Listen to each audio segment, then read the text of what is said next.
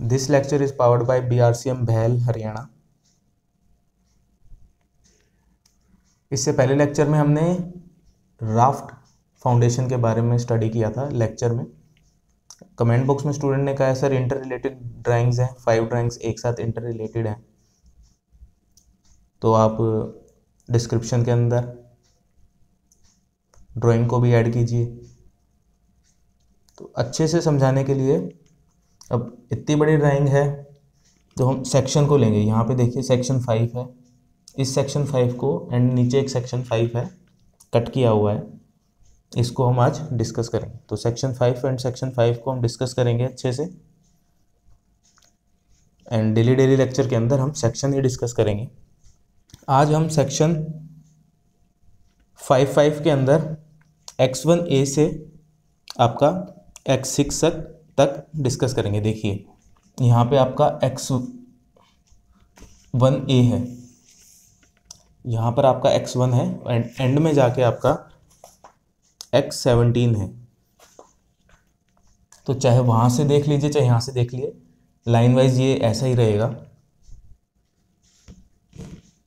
तो यहाँ पे मैंने आपको पेंसिल से ही मार्क कर दिया है क्योंकि अपर ड्राइंग के अंदर शो किया हुआ है, जो यहाँ पे नंबर्स दे रखे हैं, इसके बारे में शो किया हुआ है। तो मैं आपको दिखाता हूँ अच्छे से। तो सबसे पहले आप देखिए, सबसे पहले मैं आपको दिखाता हूँ, जो आपका लोअर मैश है, जैसे हम जाल बोलेंगे। लोअर मैश के अंदर आपका बॉटम के अंदर हमेशा रहेगा मेन बार एंड टॉप में रहेगा आपका distribution bar and upper mesh के अंदर आपका, ऊपर वाले जार, जाल के अंदर रहेगा आपका टॉप में मेन बार एंड बॉटम में डिस्ट्रीब्यूशन बार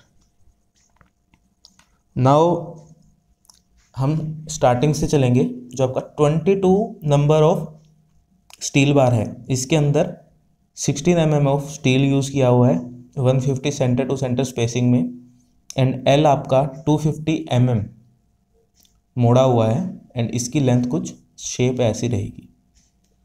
अब हम नेक्स्ट आगे चलते हैं। ये हमारा पीसीसी है, जो हमारा हंड्रेड एम mm रहता है। अगेन आप यहाँ पे देखेंगे, यहाँ पे twenty two number of nos he use किया हुआ है। एंड जो आपका डोटेड है यहाँ पर डोटेड आपको मैं यहाँ पे दिखाता हूँ। यहाँ पर आपको बाईस नंबर दिया हुआ है, यहाँ पे बाईस है, यहाँ पे बाईस है। तो थ्रू ओवर यहाँ से लेके एंड तक, यहाँ तक स्टार्ट स्टार्टिंग पॉइंट से लेके एंड तक आपका ट्वेंटी टू है। जो कि शो कर रहा है सेम एज मेन बार जो आपका डिस्ट्रीब्यूशन बार रहेगा टॉप के अंदर जो है लोअर मैश में। Y sixteen one fifty centre to centre spacing रहेगी इसके अंदर। अब यहाँ पर कुछ आर एल आपका अपवर्ड है एंड यहाँ पे आर एल आपका डाउनवर्ड है। तो इसके बारे में हम डिस्कस करेंगे नेक्स्ट लेक्चर के अंदर एंड ऑल पॉइंट्स के बारे में हम डिस्कस करेंगे।